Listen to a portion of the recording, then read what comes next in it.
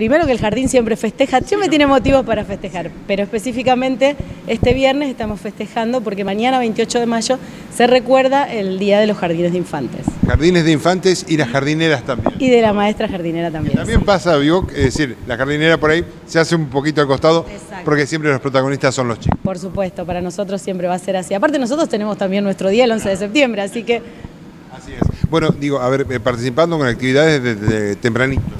Sí, en realidad las actividades empezaron ayer.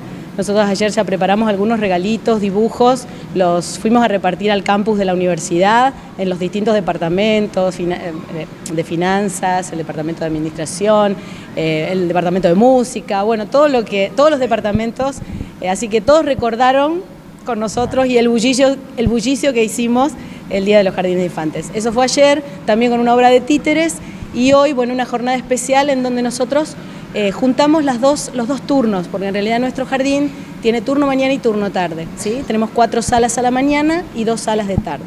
Tres salas de cuatro y tres salas de cinco. Así que hoy fue un, un mix de, las dos, de los dos turnos y bueno, los juntamos a todos acá, hicimos una obra de teatro, en los peloteros, bueno, todo lo que a los chicos más les Se gusta. poquito. Por supuesto, un día especial.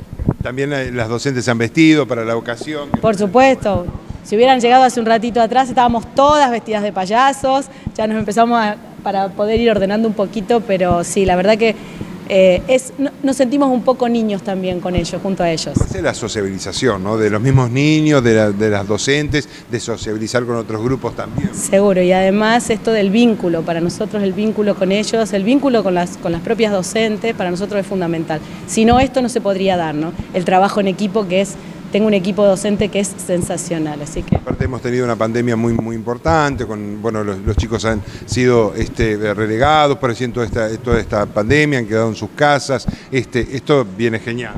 Totalmente. Esto creo que ya el año pasado tampoco lo pudimos hacer así porque estábamos por burbujas.